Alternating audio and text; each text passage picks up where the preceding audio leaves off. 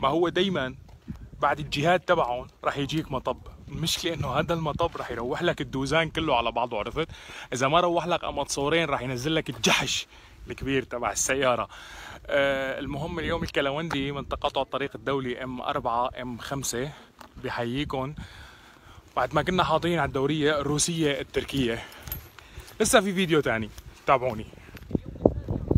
تكملة للفيديو. هي اللاذقية قارمة اللاذقية وهذا الطريق الدولي ام 4 كلياتنا بنعرفه. ونحن جايين من سرائب هلأ وراي أريحة وجسر الشغور ومحنبل. هدول المناطق الثلاثه لازم لازم ناخذهم ورح ناخذهم يعني ما حلوة لما نطلع على اللاذقية نتأخر ونطول بالطريق. من هون اقصر عرفتوا علي شلون؟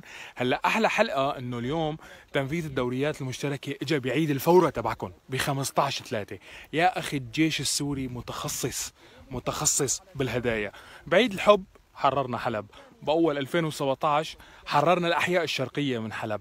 هلا بعيد الفورة تبعكم مشيت الدوريات الاتفاق راح يتم بكيفكم غصب عنكم راح يتم وراح يدخل الجيش السوري لهذا الطريق وراح نصير نطلع وندخل عليه وأنتم ما راح يضل لكم آه تواجد ابدا. بحب اشركم امبارح نزل عليكم تركي بالجرافات واليوم نزل عليكم بالدبابات. إذا راح تضلوا تمنعوه وتسودوا له وشه في المحافل الدولية راح يقول لكم أنا ما بقى لي علاقة والجيش السوري جاي لحتى يدوسكم دائما وابدا الكلوندي معكم مع الجيش السوري حماة الأرض والعرض من الطريق الدولي ام 4